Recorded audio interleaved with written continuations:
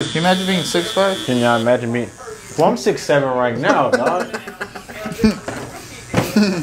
Have some respect, bro. I don't know who you think I am, a little guy or something, but you're tripping. My bad. Yeah, comfortable as hell on the airplane. You gotta sit in first class, bro.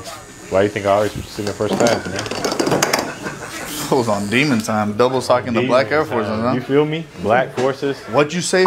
Bro, you know what's worse? The black Skechers, my boy. Not the shape ups. I'm a thug, but I got back problems.